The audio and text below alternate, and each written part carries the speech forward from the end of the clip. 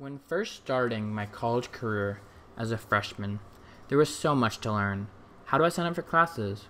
Where do I fit in? Who are my friends going to be? What do I want to study? What am I supposed to do each day now that I'm not an athlete? It was all very overwhelming. It took me time to find answers and many years to feel comfortable not having them. Answers. Life is a learning process. Recently, I was asked the age old question What do you want to be when you grow up? Well, let me tell you a secret. I still do not exactly know. And trust me, that is okay. For many years now, I have been serving in the role of a helper. I've grown accustomed to this role and would like to continue exploring this position for the foreseeable future. My dream is to have my own private practice as a counseling psychologist within the next 10 years. While this is no easy feat, I personally believe that I am capable of accomplishing that. A private practice counseling psychologist serves as an expert in the mental health field. These individuals spend their time developing each client's personal and interpersonal skills, especially regarding emotional, social, vocational, educational, health related developmental, and organizational concerns. Counseling psychologists also work with clients to improve well being, alleviate distress and maladjustment, and resolve crises. They address issues from individual, family, group, systems, and organizational perspectives. While this would most definitely be an enjoyable and rewarding career for me, this video will analyze the career of a licensed mental health counselor.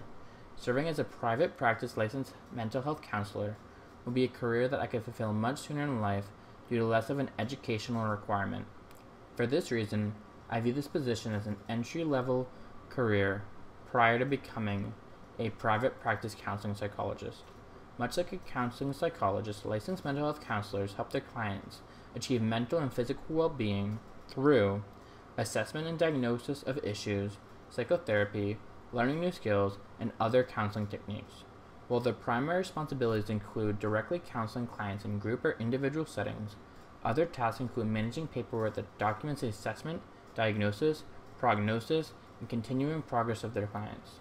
For this reason, being a licensed mental health counselor is a multifaceted position and has its difficulties. Fortunately, this is a very rewarding career, both emotionally, mentally, and potentially financially. Individuals tend to earn between $52,694 on the lower side and $143,960 on the higher side as a private practice licensed mental health counselor in my home state, Massachusetts. Since a licensed mental health counseling position involves supporting those struggling with their mental health, one needs to be very qualified to serve in this role. The first step to fulfilling these requirements would be education. Individuals must complete a master's degree in mental health counseling or related field with a minimum of 60 semester credit hours or 80 quarter credit hours from an integrated, planned, and comprehensive program from a recognized educational institution. Within this degree, certain courses need to be taken in order to cover specific content areas regarding mental health and the responsibility of a counselor. Along with this educational requirement, individuals must demonstrate the completion of a pre-master's degree practicum that includes supervised clinical field experience and direct client contact experience. This practicum, much like education, needs to fulfill certain standards and expectations in order to be approved. On top of this, individuals then need to complete a minimum of two years of full-time or equivalent part-time post-master's degree, supervised clinical field experience, and direct client contact experience. Again, certain expectations and standards need to be satisfied. Once all of this is completed, then an individual may be able to apply and seek licensure, but it is not guaranteed. Clearly, to serve in this helper role, one needs to fulfill many qualifications. However, this is still much easier than obtaining licensure as a counseling psychologist. While this might be a long road, I've already started my journey. During my undergraduate experience, I majored in psychology. Not only did this expose me to various trains of thought,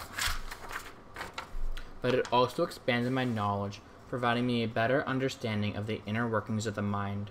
As previously mentioned, individuals need to take graduate courses regarding specific content areas. Some of these include human growth and development, psychopathology, and counseling theories. Each of these courses I have already taken, which means much of the information will be review, rather than new, unfamiliar territory. There are also many skills that I have learned due to being a psychology major that will surely prove useful. For example, I have learned how to write an APA format, develop laboratory papers, and think critically. Moving forward, I will need to employ various strategies to enter this profession. To fulfill the educational requirement, I have been looking into various options for grad school online, hybrid, traditional, brick and mortar. Each has its own merits and comes with a different financial burden. For this reason, it is proving somewhat difficult for me to find the right option. Over the next few weeks, I plan to seek the counsel and advice of my psychology professors as well as various online resources in order to better educate myself before submitting my final applications and ultimately er- enrolling into a program. While various hurdles need to be scaled before I see my first paycheck, I would like to think that my prior experiences and personality will make this career worthwhile. My experiences as a helper, whether it was as a camp counselor, tutor, teacher, or educator, have all proved truly rewarding for me. I absolutely love forming connections with other individuals and being able to serve as a positive influence. Through the role of a licensed mental health counselor, I will have the opportunity to work with individuals who are truly struggling. As someone who has spent years working on their own mental health, I can personally attest to the importance of having a support system.